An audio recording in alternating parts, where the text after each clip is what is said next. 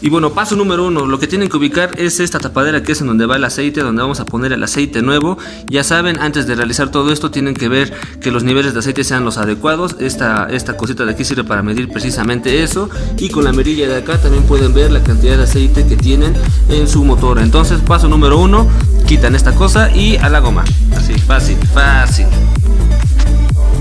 Paso número 2, después de haber quitado esa tapadera del aceite, tienen que irse abajo de su motocicleta. Dejen y le ubico aquí bien. Aquí, justamente aquí. Espérenme, es que no lo puedo mover aquí, ahí está.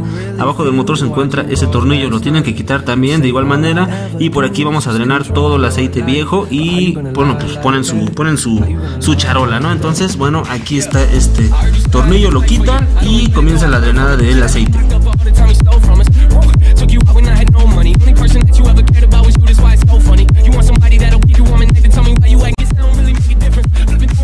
Número 3, después de haberle quitado la tapa de acceso para el nuevo aceite y la tapa de drenado o el tornillo de drenado de la motocicleta. Paso número 3, tienen que ubicar un tornillo que es la parte del filtro del aceite o la parte del sedazo, que es este tornillote de por acá. Vean más o menos cómo está la parte. Estoy del otro lado del motor. Y bueno, justo de ese lado se encuentra ese tornillo grandote.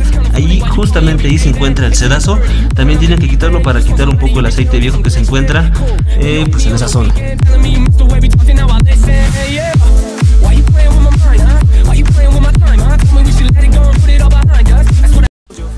Y bueno, ya que se haya drenado todo el aceite de la motocicleta, del motor, eh, ahora sí vamos a proceder nuevamente a poner el tapón que va por debajo del motor, ese de allí, bueno no se ve porque ya se lo quité, pero ese de allí, y poner el tapón del el sedazo también. Entonces ponemos esos tapones y vamos a continuar a poner el aceite nuevo.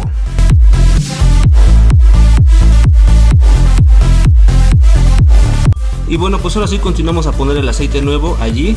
Eh, la medida, bueno, pues ya saben, la da el, plastiquito que está insertado allí o por la mirilla que aparece del lado de acá. Esa mirilla que está ahí en la esquinita.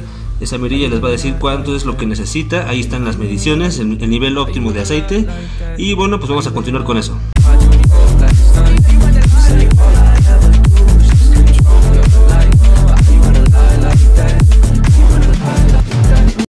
Bueno banda, pues eso ha sido todo por hoy. Esta fue la pequeña afinación express, un tutorial mamalón chingón a la huevoneando bikers. Espero que les sea de ayuda. Yo soy su amigo Alberto. Nos estamos viendo hasta el siguiente video. Hasta la próxima. Bye.